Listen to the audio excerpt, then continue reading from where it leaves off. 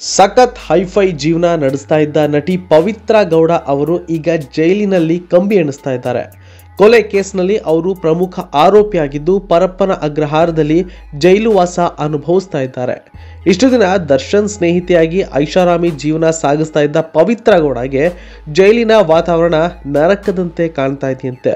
ಸರಿಯಾಗಿ ಊಟ ಸೇರದೆ, ನಿದ್ರೆ ಬಾರದೆ ಅವರು ಒದ್ದಾಡ್ತಾ ಇದ್ದಾರೆ. ಮಂಕಾಗಿ ಕುಳಿತು ಕಣ್ಣೀರ್ ಹಾಕ್ತಾ ಇದ್ದಾರೆ.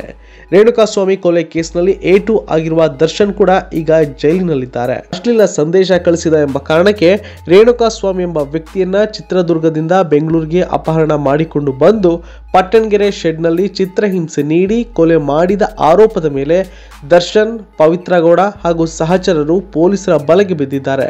ಹೊರಗಡೆ ಇದ್ದಾಗ ಐಷಾರಾಮಿ ಜೀವನ ನಡೆಸ್ತಾ ಇದ್ದವರಿಗೆ ಜೈಲಿನಲ್ಲಿ ದಿನ ಕಳೆಯುವುದು ತುಂಬ ಕಷ್ಟ ಆಗ್ತಾ ಇದೆ. ಸಹ ಕೈದಿಗಳ ಜೊತೆ ಪವಿತ್ರ ಗೌಡ ಬೆರೆಯುತ್ತಿಲ್ಲ.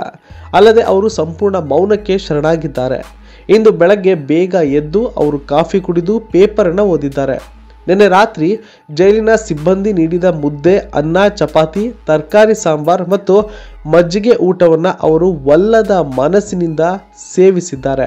ಸರಿಯಾಗಿ ಉಪ್ಪು, ಖಾರ ಇಲ್ಲದ ಜೈಲಿನ ಊಟ ಸೇವಿಸುವುದು ಪವಿತ್ರ ಗೌಡ ಅವರಿಗೆ ಸಖತ್ ಕಷ್ಟ ಆಗ್ತಾ ಇದೆಯಂತೆ. ಅಷ್ಟೇ ಅಲ್ಲ ಚಾಪೆಯಲ್ಲಿ ಮಲಗಲು ಅವರಿಗೆ ಸಾಧ್ಯ ಆಗ್ತಾ ಇಲ್ಲ. ಇದರ ಜೊತೆಗೆ ಸೊಳ್ಳೆ ಕಾಟ ಕೂಡ ಇರೋದ್ರಿಂದ ಅವರು ಇನ್ನಷ್ಟು ಹೈರಾಣಾಗಿದ್ದಾರೆ. ರಾತ್ರಿ ಬೇಗ ಮಲಗಿದ್ರೂ ಕೂಡ ಅವರು ಪದೇ ಪದೇ ಎಚ್ಚರಗೊಳ್ತಾ ಇದ್ರು ಎಂಬ ಮಾಹಿತಿ ಸಿಕ್ಕಿದೆ. ಇನ್ನು ಈ ಒಂದು ಕೊಲೆ ಪ್ರಕರಣ ದೇಶಾದ್ಯಂತ ದೊಡ್ಡ ಸುದ್ದಿಯೇ ಆಗಿದೆ. ಸ್ಟಾರ್ ನಟ ದರ್ಶನ್ ಮೇಲೆ ಕೊಲೆ ಆರೋಪ ಬಂದಿರೋದ್ರಿಂದ ಎಲ್ಲರ ಕಣ್ಣು ಈ ಕೇಸ್ನ ಮೇಲೆ ಇದೆ. ರೇಣುಕಾಸ್ವಾಮಿ ಕುಟುಂಬಕ್ಕೆ ನ್ಯಾಯ ಸಿಗಬೇಕು ಎಂದು ಅನೇಕ ಸೆಲೆಬ್ರಿಟಿಗಳು ಕೂಡ ಒತ್ತಾಯ ಮಾಡ್ತಿದ್ದಾರೆ. ದರ್ಶನ್ ಮೇಲೆ ಗಂಭೀರ ಆರೋಪ ಎದುರಾದ ಕಾರಣ ಅವರ ಆಪ್ತರಿಗೆ ಸಿಕ್ಕಾಪಟ್ಟೆ ಬೇಸರ ಅಂತೂ ಉಂಟಾಗಿದೆ.